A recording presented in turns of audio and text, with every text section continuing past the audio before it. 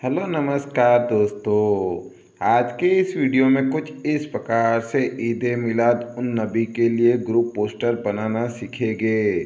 तो वीडियो को शुरू से लेके अंत तक आप लोग देखते रहिए, ताकि आप लोग भी इस प्रकार से जश्न ईद मिलाद उन नबी के लिए ग्रुप पोस्टर बना सको। दोस्तों, इस पोस्टर को बनाने के लिए जो पीएलपी फ़ाइल यूज़ हुआ है, उसका लिंक मैंने डिस्क्रिप्शन में दे रखा है।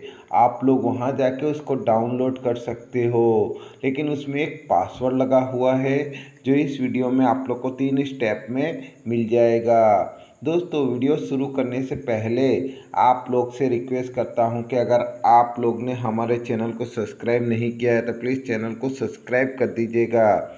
दोस्तों, पोस्टर बनाने के लिए पिक्चर लैब एप्लीकेशन की ज़रूरत पड़ती है, जिसका लिंक मैंने डिस्क्रिप्शन में दे रखा है। आप लोग वहाँ जाके इस ऐप को डाउनलोड कर सकते हो।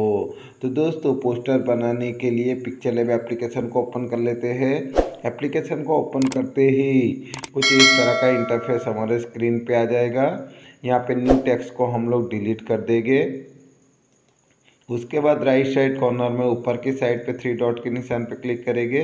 नीचे स्क्रॉल करके ओपन पीएलपी फ़ाइल पे डबल क्लिक करेंगे। यहाँ पे पीएलपी पे क्लिक करेंगे। यहाँ एरो के निशान पे क्लिक करेंगे। और जहाँ भी हमने फ़ाइल को डाउनलोड करके सेव करके रखा हुआ है, वहाँ से हम लोग फ़ाइल को ओपन कर लेंगे। यहाँ पे जश्न ईद मिलाद पीएलपी पे क्लिक करेंगे। ओपन एंड ऐड पे क्लिक करेंगे। यहाँ पे ओके कर देंगे, उसके बाद बैक हो जाएँगे। तो दोस्तों, इस प्रकार से हमारा पीएलपी फ़ाइल ओपन हो जाएगा। अब इस पीएलपी फ़ाइल में हमको जो भी चेंज करना है, वो चेंज करके हम लोग अपना ग्रुप पोस्टर तैयार करेंगे। इसके लिए प्लस के बगल में जो आइकॉन बना है, वहाँ पे क्लिक करेंगे और जहाँ भी हमको चेंज करना है, उसे डिलीट करके या एडिट करके हम लोग चेंज कर सकते हैं।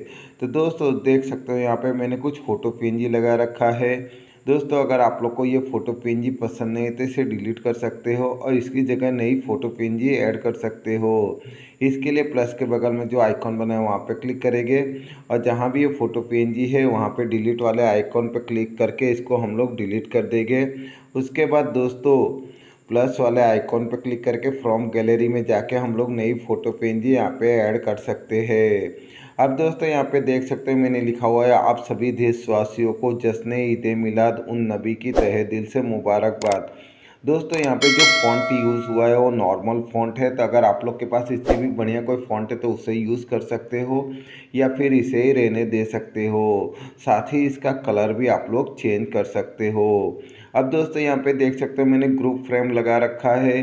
दोस्तों यहाँ पे आप लोग अपना, अपने दोस्तों का, अपने गाँव के लोगों का या फिर अपने परिवार के लोगों का फ़ोटो पेंजी ऐड करके आप लोग अपना ग्रुप पोस्टर तैयार कर सकते हो। इसके लिए प्लस वाले आइकॉन पर क्लिक करेंगे फ्रॉम गैलरी में चले जाएँगे और जहाँ भी हमने फ़ोटो पेंजी सेव करके रखा हुआ है, वहाँ से हम लोग फ़ोटो पेंजी को सिलेक्ट कर लेंगे। उसके बाद दोस्तों इसको क्रॉप कर लेंगे जितना भी हमें चाहिए। उसके बाद ओके कर देंगे। उसके बाद दोस्तों यहाँ पे बड़े वाले बिंदु पे क्लिक करके इसको छोटा कर लेंगे जिससे फ्रेम में सही जगह पे एडजस्ट हो जाए। तो दोस्तों देख सकते हो यहाँ पे मैंने एक फ़ोटो पेंजी को सेट कर दिया है।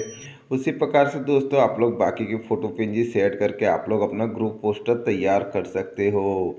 अब दोस्तों, इस पोस्टर को हम लोग गैलरी में कैसे सेव करें? इसके लिए शेयर वाले आइकॉन पर क्लिक करेंगे। इमेज फॉर्मेट में जेपीजी या पीएनजी सिलेक्ट करेंगे। क्वालिटी डायमेंशन में अल्ट्रा सिलेक्ट करेंगे और सेव टू गैलरी पर क्लिक कर देंगे। दोस्तों, इस प्रकार से हमारा पोस्टर गैलरी में सेव हो जाएगा। दोस्तों, इसी प्रकार से आप लोग को किसी फेस्टिवल का या अपने शॉप का बैनर बनवाना है तो कमेंट करके बता दीजिएगा, मैं उस पर वीडियो बना दूँगा, जिससे आप लोग मोबाइल से ही पोस्टर बना सको। दोस्तों, वीडियो अगर आप लोग को अच्छी लगी है तो वीडियो को लाइक कर देना और चैनल को सब्सक्राइब कर देना। जय हिंद, जय भारत।